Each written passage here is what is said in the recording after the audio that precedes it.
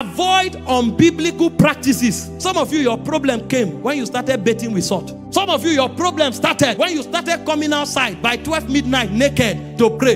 The Bible never told us God will answer prayers because we prayed naked. On biblical practices, do we pray naked? Yes, if you are betting, you can pray. But the idea of taking off your shirt around 12 midnight for God to hear you. Oh Lord, I'm standing naked. Who told you that nakedness has authority in the courts of heaven? Jesus said, In my name, He gave you what to come in. Come in the name of Jesus, not in your nakedness. I don't know where people learn these things from. And that's why many prophets, false prophets, false apostles have slept with innocent young ladies. They go to the river by 12 midnight to pray. I know warfare can be done at midnight. But all of this, oh, I'm naked, I must bathe around 12. Who, where did you learn it from? See, in God's mercy, He can honor your faith. But He said, in the days of ignorance, God overlooks. But now He asks all men to repent and come to the knowledge of the truth. There are certain places where people say they get favor when they sleep with men of God. There are, that's an anointed man. Oh, there's oil on that life. When you touch him, things will enter you. Barbaric practices that is pushed into the body of Christ by creatures of lewdness. Some they bait them on the altar. They come to the altar, they are baiting them for favor. That you take your bath on the altar of God. Your life can't be the same. And they are drowning in the hands of demons. Don't get involved in unbiblical practices. Listen, trust what the Bible tells us and live according to the injunctions of the finished works of Christ. Your life will be victorious.